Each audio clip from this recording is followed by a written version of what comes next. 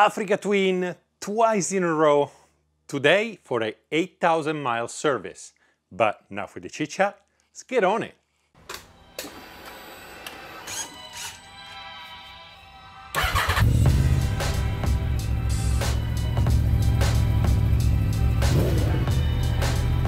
This is how we're gonna do this.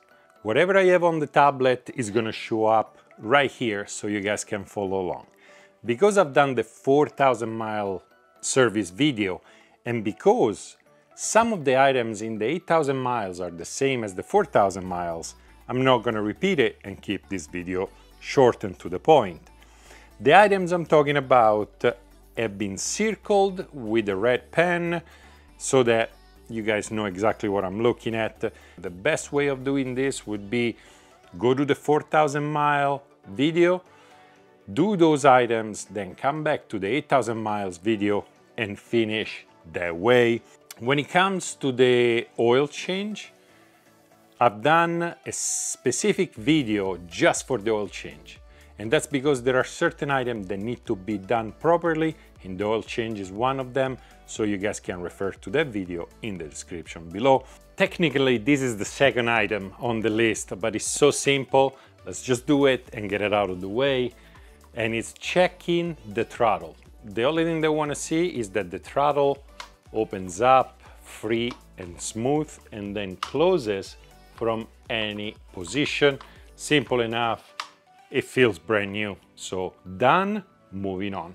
Time to check the fuel lines. The fuel lines are under the fuel tank, but you do not need to remove the fuel tank. And I really don't want to remove all of this just so I can take a look under there. But let's begin by removing the seat. You all know how to do this. Once you remove uh, the seat, you gotta lose this bolt over here and there is one under there. We're gonna take care of the one under there by doing this. Just grab it nice and easy and there is a pop out thing. So nice and easy, pull right there, the first clip and then the second clip and that uh, bolt, it's right in there. And from the side, put your Allen in there. And there it is. Once you remove those two screws over there, it's time to pull and there are some bosses in grommets. One, and then some Velcro, some more Velcro, and some more of those grommets and those little bosses, as Honda calls them, over here, one over here, one over here, do that on the side. At this point, in theory, we need to release the fuel tank and lift it up. The problem is, if I lift up the fuel tank, then I definitely need to remove all this stuff up front. But remember, this is an 8,000 mile service and needs to be repeated every 8,000 miles. If this was three years down the road, yes, that point, remove this just like we do for the air filter. There is a video about it. And then you can lift the tank by uh, loosening up the, the bolt over here. But because it's the very first 8,000 mile service, get yourself a flashlight and look through here. You're gonna be able to see the main fuel line and all the other fuel line that come out from the tank so you don't have to remove this whole thing and that right there that I'm moving right now is the big fuel line that they're telling you to check. So check that one and then if you look further down that way you can see the lines coming down from the fuel tank. And as I'm looking in there everything looks pristine. Why? Because it's a 2021 bike and it's 2023 it's less than two years old. And we're talking about a Honda so the rubber of those hoses is not gonna go bad in a year and a half at the very least make sure you take a look but lifting the tank at this point and age of the bike, it's really overkill. It's now time to do the radiator coolant and the cooling system in general. First of all, start from the front, look at the radiator. It's now the time either to straighten up the blades of the radiator if they got bent or remove rocks, bugs, or whatever else. So take a close look in there and make sure that there are no leaks, uh, there are no nothing strange. Mine looks pretty good. Uh, so a couple of bugs that we got to remove and that's about it. We can move on. When it comes to the coolant, check the coolant level, which should be between max and min. The max line is up front, the min line is in the back, and there is still the color is supposed to be. Otherwise, we're gonna add some more in there. But you need to check it with the engine running and with the bike at temperature. So I'm gonna have to do this outside the garage, otherwise I'll pass out. Time to take care of the brake system. When Honda says brake system, it means the whole system, literally. So what you need to do, which if you actually ride the bike, you're gonna know this before you do the service, but let's do the, the way Honda wants it. So you gotta squeeze the brake and make sure that the brakes are not spongy and they feel pretty good. Remember, you have rubber hoses, so a little compression is okay because it's the hose here that is slightly expanding. If uh, you pinch the lever, you hold the pinched and the lever little by little comes back, now you have air in the system, you need to bleed the brakes uh, and so on. I'm Gonna check the, the rear. And it feels firm, the pedal doesn't push down. Once you check that the brakes feel fine, it's time to look at the bolts and the, the hoses. Make sure all the hoses and the bolts uh, are in good conditions, no cracks, no loose bolts. Same thing, front and back and everything seems to be in pretty good condition. It's now time to check the brake light and the brake light switch. Now, first of all, make sure that the brake light works. And there it is, uh, rear and front.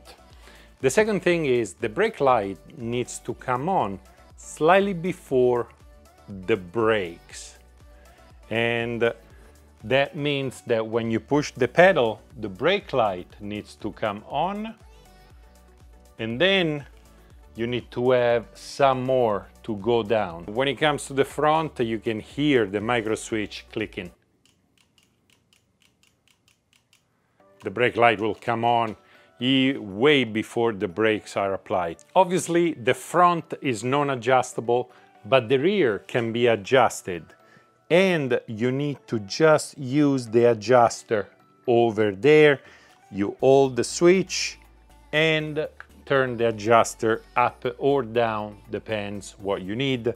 Very simple, although it's cramped, so you might fiddle a bit to make it work. The next few things need to be done with the garage door open and with the bike on the ground. One of them is the idle check.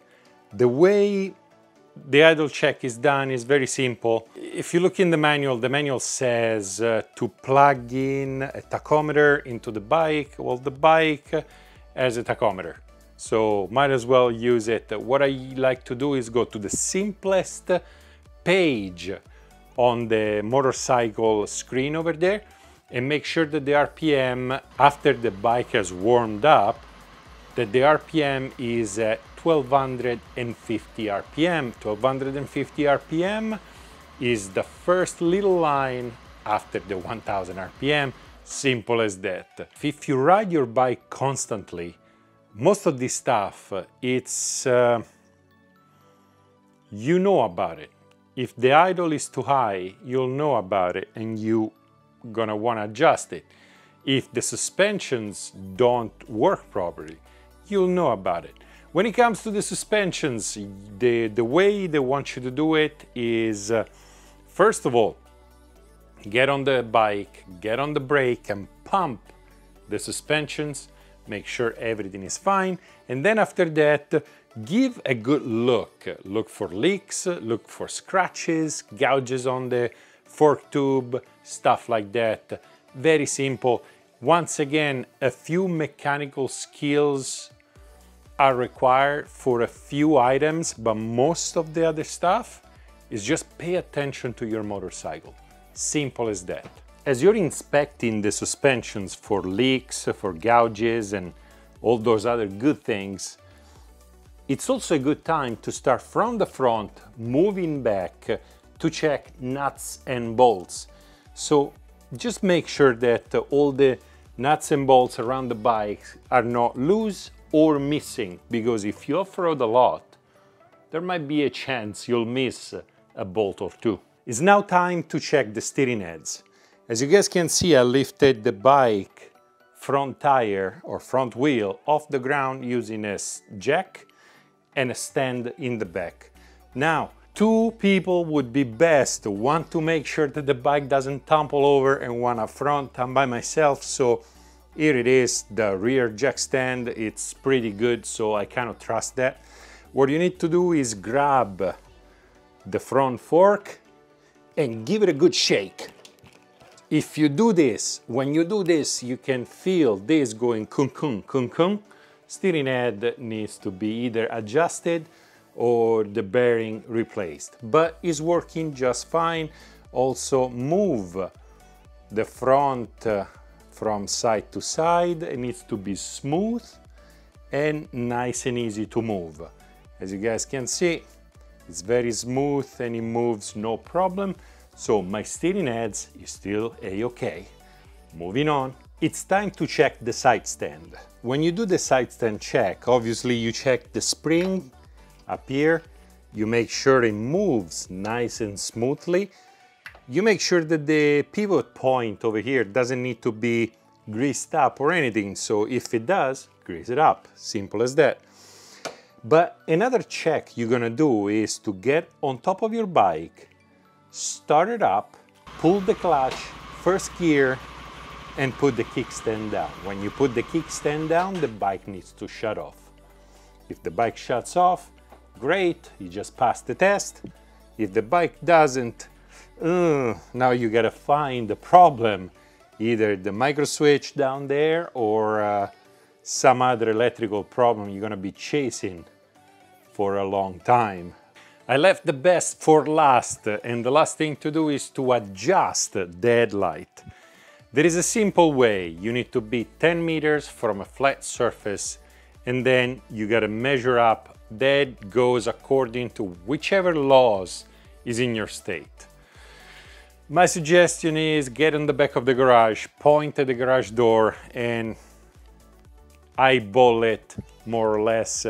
If you're not happy with where the light is pointing at that moment, you can adjust it. Remember, stay on the bike while you do the adjustment because as you sit on the bike, the rear suspension might squat or the front suspension might compress and the headlight aim is gonna change. But come here, let me show you how to adjust it. If you guys look in there, there is one of those wheels on each side and by turning those wheels you can raise or lower the headlight. And we're done for the day. Do not forget to double check the oil level, make sure you have the correct oil level down there and that, uh, that is complete. You guys just did an 8,000 mile service and between this service and the video about the 4,000 miles and the video about replacing the air filter and replacing the oil and oil filter, you guys have enough to go for the next few steps in the maintenance schedule. When it comes time to do the spark plugs, well, come back to the channel. Most likely by then, I'm gonna have a video about on how to do the spark plug uh, as well. For everything I used in this video, check the links in the descriptions. Thank you very much to my patrons, you guys are the best, we are growing slowly but steadily, and you know I couldn't be doing this without you. For everybody else, thank you very much, dai e tutti, and I'll see you next time.